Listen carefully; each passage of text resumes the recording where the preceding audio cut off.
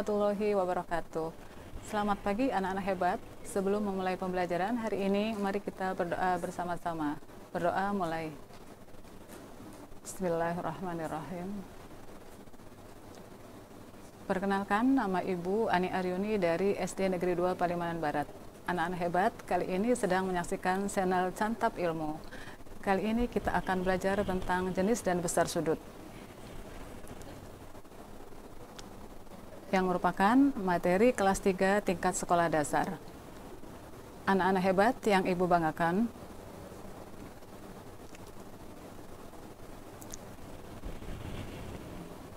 sebelum ke sudut, kita akan mengenal dulu pengertian sudut.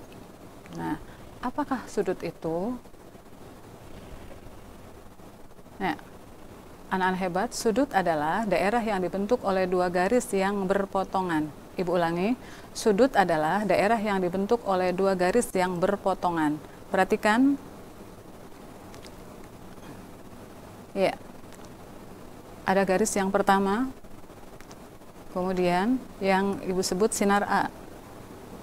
Kemudian ada garis yang kedua yang Ibu sebut sinar B. Nah, kedua garis ini berpotongan. Nah, daerah yang dibentuk oleh perpotongan dari dua garis itu namanya sudut. Nah, yang ini merupakan besar sudutnya dan titik potongnya merupakan titik sudutnya. Ibu ulangi, ini titik potongnya merupakan titik sudutnya. Untuk lebih jelasnya, contoh sudut berikut ini perhatikan ya. Nah, perhatikan. Ada contoh sudut yang Ibu gambarkan. Sekarang kita akan membahas tentang sudut ini. Ibu menggambarkan sinar AC, kemudian ada juga sinar AB. Di sini ada tulisan 60 derajat. Nah, sekarang kita akan mengenal tentang sudut lebih lanjut lagi. Apa nama sudutnya? Nah, nama sudut dari ini adalah sudut CAB. Perhatikan anak ya, nama sudutnya adalah sudut CAB. Boleh tidak kalau disebut sudutnya sudut BAC? Iya, boleh juga kalau kita menyebutkan sudut BAC. Sekarang ada yang bertanya, bagaimana kalau diganti dengan sudut ABC? Apakah itu betul? Nah, sudut CAB tidak bisa diganti namanya menjadi sudut ABC. Mengapa? Karena B-nya bukan merupakan suatu sudut ya anak-anak hebat ya. Sekarang kita lanjutkan. Apa titik sudutnya? Yang menjadi titik sudutnya adalah titik A yang merupakan titik potong dari sinar AC dengan sinar AB. Kita lanjutkan. Yang mana kaki sudutnya? Kaki sudutnya adalah sinar garis AC dan sinar garis AB. Ini merupakan kaki sudut ya. Ini kaki sudut, ini juga kaki sudut. Nah, sekarang kita lanjutkan. Berapa besar sudutnya? Besar sudutnya adalah 60 derajat. Oke, anak hebat. Sekarang Ibu contohnya kita lanjutkan dengan yang kedua. Mari kita coba. Kalau anak-anak hebat tadi sudah mengerti, Ibu berikan Contoh yang kedua, silakan anak-anak perhatikan. Ada sinar garis KM, ada sinar garis MN, kemudian akan membentuk sudut. Pertanyaannya yang pertama adalah apa nama sudutnya? Silakan anak hebat isi dulu. Kemudian pertanyaan yang kedua, titik sudutnya adalah titik sudut apa? Berikutnya, kaki sudutnya yang mana? Dan yang terakhir, besar sudutnya berapa? Oke, anak hebat, sudah diisi semua? Oke, kita bahas sama-sama ya, anak-anak hebat ya. Sekarang kita bahas yang pertama. Nama sudutnya adalah Iya, bagus. Nama sudutnya adalah sudut KMN. Ya, sudut KMN. Nah, lanjutkan sekarang yang kedua. Titik sudutnya adalah titik sudut Iya, bagus. Titik sudutnya adalah titik M. Yang ini ya anak-anak hebat ya. Ini titik sudutnya. Nah, sekarang kaki sudutnya yang mana? Kaki sudutnya adalah garis KM dan garis MN. Baiklah, anak hebat. Sekarang kita lanjutkan. Berapa besar sudutnya? Besar sudutnya adalah 90 derajat. Oke, anak hebat sudah paham semua mengenal unsur-unsur sudut. Nah, sekarang kita lanjutkan dengan mengukur sudut. Nah, anak-anak hebat, sekarang kita akan belajar tentang mengukur sudut. Tentunya ada alatnya ya anak hebat ya. Apa nama alatnya? Nama alatnya adalah busur derajat. Alat untuk mengukur sudut itu namanya busur derajat. Kita akan mencoba mengukur besar sudut ABD. Berapa besar sudut ini? Nanti kita akan mencoba mengukurnya dengan alat yang namanya busur derajat. Bagaimana langkahnya? Yuk kita pelajari sama-sama. Cara mengukur sudut menggunakan busur derajat.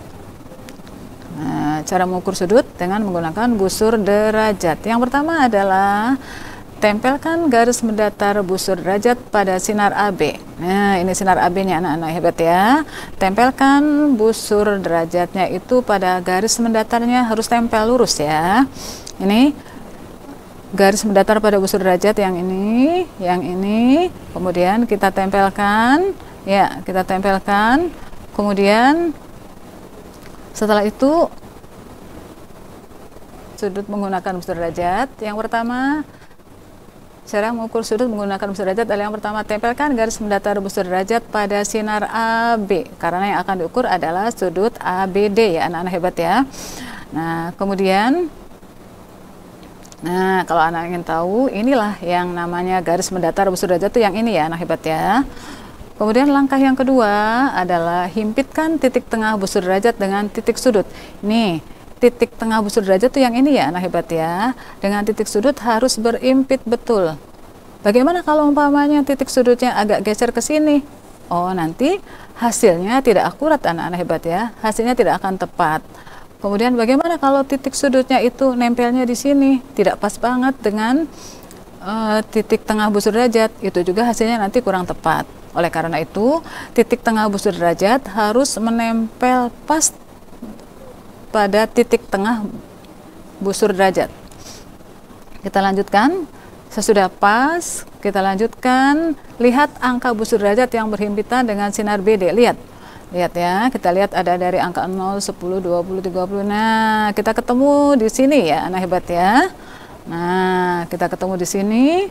Maka besar dari sudut itu adalah 60 derajat. Sudah paham anak hebat? Itulah cara mengukur sudut dengan menggunakan busur derajat. Nah, anak hebat, kita lanjutkan sekarang. Setelah anak-anak bisa mengukur sudut dengan busur derajat, kita akan mengurutkan besar sudut. Ada beberapa sudut yang akan diurutkan oleh anak hebat. Yang pertama, sudut A, Ibu beri ukuran 30 derajat. Sudut B berukuran 90 derajat, sudut C berukuran 120 derajat, sudut D ukuran 45 derajat, dan sudut E 60 derajat. Dari kelima sudut ini kita akan mencoba mengurutkan besar sudutnya. Nah, anak hebat, karena di situ sudah dicantumkan berapa besar sudutnya, maka anak-anak hebat tinggal mengurutkan angka-angkanya saja. Yang paling kecil adalah yang pertama adalah kita urutkan dari sudut yang terkecil ya, aneh hebat ya. Kita mulai yang pertama adalah sudut A 30 derajat. Kemudian yang lebih besar dari sudut A adalah sudut D 45 derajat. Kemudian yang lebih besar dari itu adalah sudut E 60 derajat. Yang lebih besar dari itu lagi adalah sudut B 90 derajat dan terakhir yang paling besar adalah sudut C 120 derajat. Nah, anak hebat, seandainya sudut-sudut yang ingin diurutkan itu tidak tercantum angka-angkanya, tidak tercantum besar sudutnya, bagaimana caranya anak hebat? Nah, anak hebat tinggal melihat saja antara sinar yang satu dengan sinar yang lainnya itu jaraknya itu bagaimana? Kalau jaraknya semakin dekat, maka besar sudutnya semakin kecil. Tapi jika jarak kedua sinarnya ini semakin jauh, ya, maka sudutnya semakin besar. Anak hebat ya. Oke, anak hebat. Sekarang kita akan belajar tentang jenis-jenis sudut berdasarkan besar sudutnya. Jenis-jenis sudut berdasarkan besar sudutnya ada tiga. Kita mulai yang pertama adalah sudut lancip.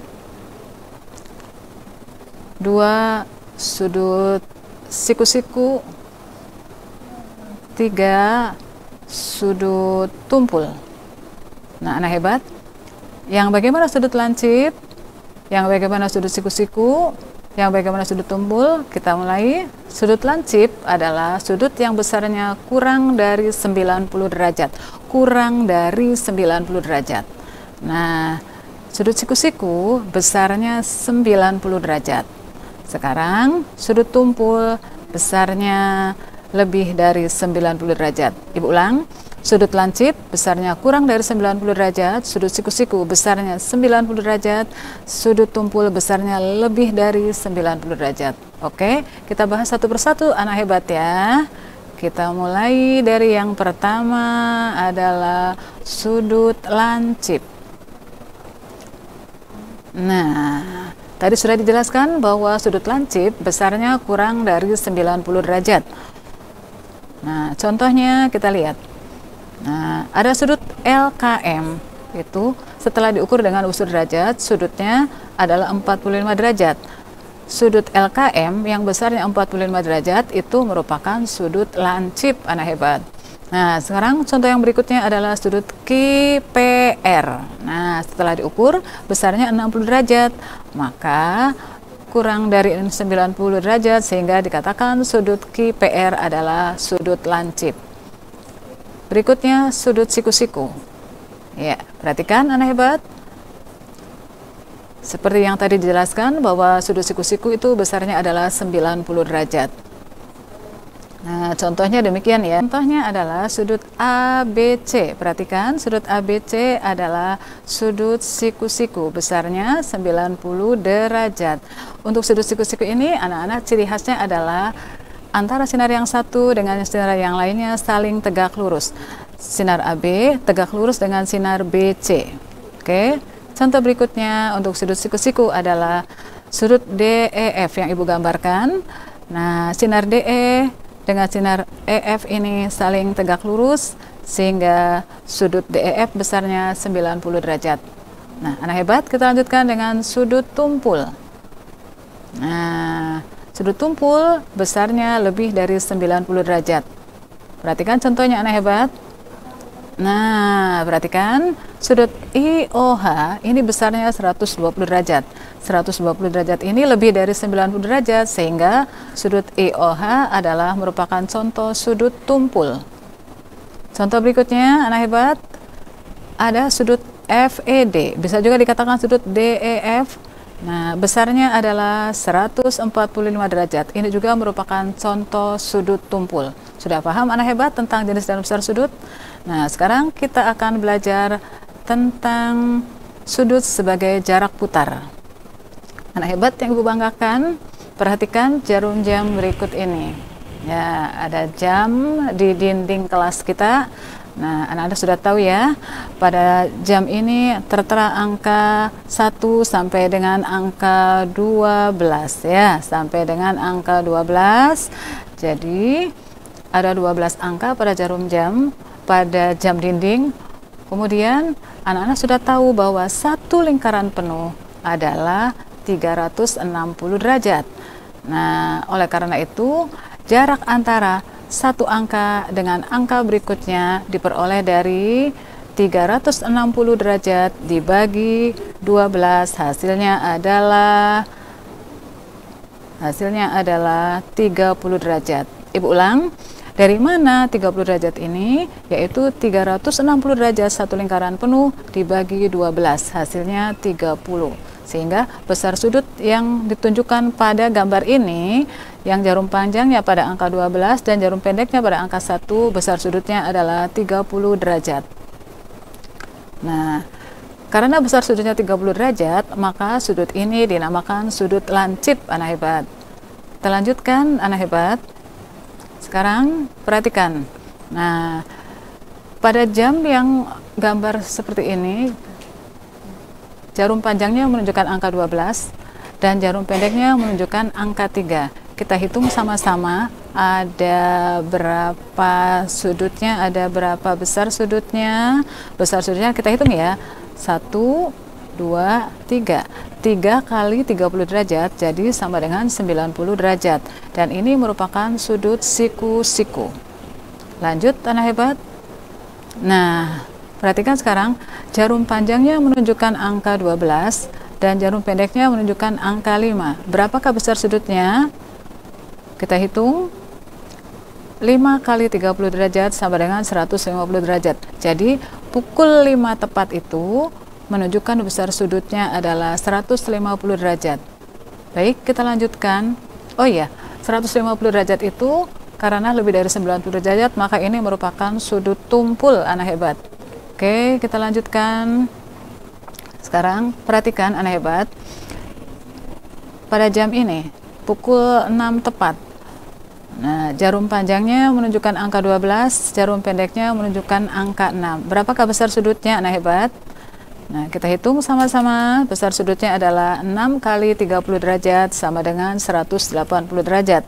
Dan ini dinamakan sudut lurus. Dan yang terakhir, Nah, pukul 12 tepat, jarum panjangnya menunjukkan angka 12, jarum pendeknya menunjukkan angka 12 juga satu putaran penuh ini ya. Nah, ini kita hitung besar sudutnya 12 kali 30 derajat sama dengan 360 derajat. Nah, ini merupakan sudut satu putaran penuh. Sudut satu putaran penuh besarnya adalah 360 derajat. Oke, anak hebat. Kiranya uh, penjelasan dari Ibu tentang jenis dalam besar sudut adalah cukup sekian. Uh, untuk anak hebat yang ingin lebih pandai lagi dalam mengukur besar sudut, silakan anak-anak latihan di rumah. Ada beberapa sudut pada buku, silakan anak ukur dengan busur derajat supaya anak-anak lebih terampil lagi. Itu tugas dari Ibu. Semoga anak hebat lebih terampil lagi, lebih pintar lagi dalam mengukur besar sudut. Semoga penjelasan dari Ibu bermanfaat. Ibu ucapkan terima kasih dan Ibu akhiri wassalamualaikum warahmatullahi wabarakatuh.